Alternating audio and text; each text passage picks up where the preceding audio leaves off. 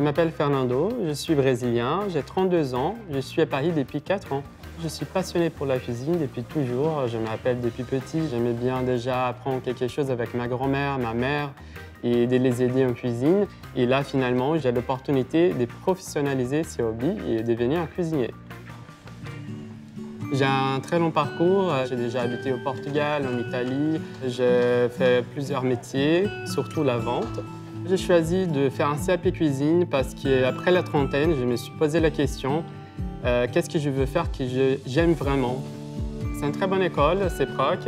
Ça me permet vraiment euh, d'avoir une vision euh, plus complète de qu'est-ce que c'est, qu'est-ce qui se passe dans une cuisine. Ça permet de pratiquer plusieurs techniques techniques des cuissons, des découpages, les côtés théoriques aussi, euh, c'est-à-dire les classes euh, des sciences appliquées. Ça, c'est vraiment un privilège.